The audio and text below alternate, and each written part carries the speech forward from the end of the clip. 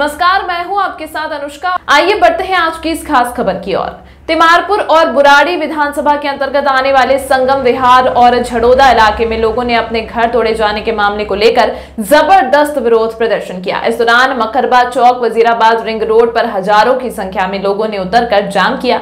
भारी पुलिस बल मौके पर मौजूद रहा। लोगों ने आरोप लगाया कि राजनीतिक षड्यंत्र के तहत पहले लोगों को बसाया गया और अब उनके आशियाने को सरकार तोड़वा रही है। इसी बात को लेकर दिल्ली के आउटर रिंग रोड पर लगा लंबा जाम। हज़ारों वाहन जाम में फंसे दिखे।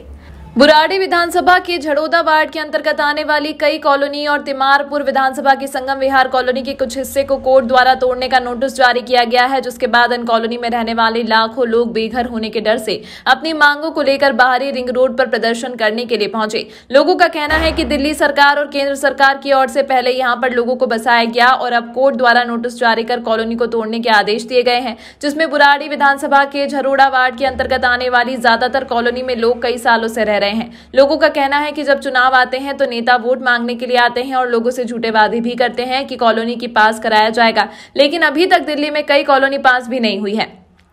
और पूरी दिल्ली में इसी तरह लाखों लोग कच्ची कॉलोनी में रह रहे हैं, जहाँ पर लोगों को बिजली व पानी के कनेक्शन भी सरकारी विभागों की ओर से नहीं दिए गए। यदि कॉलोनी कच्ची है तो सरकार लोगों को बिजली व पानी के कनेक्शन क्यों दे रही है और क्यों उन्हें बुनियादी सुविधाएँ दी जा रही हैं? कहीं ना कहीं सरकार अपने राजनीतिक दाव पेचों के चलते लोगों को मोहरा बना रही है। और अब इस ज़मीन पर बसी कॉलोनी को तोड़ने के लिए कवायद भी शुरू की जा चुकी है। कोर्ट से लोगों को नोटिस दिए गए, लोग अपने आशियाने को बचाने के लिए नेताओं से लेकर अधिकारियों तक सभी से मिले, लेकिन उनकी समस्या के समाधान के लिए कोई भी नेता व अधिकारी आगे नहीं आ रहा है। वहीं कॉलोनी के लोगों का आरोप है कि इलाके के जमींदारों ने उन्हें ग्राम सभा की ज़मीन बेची है। उन्हें नहीं बताया गया कि यह ज़मीन ग्राम सभा की है। अपने मुनाफे के लिए उन्होंने ज़मीन बेच दी और अब ज़मीन पर बसी कॉलोनियों को तोड़ा जाएगा।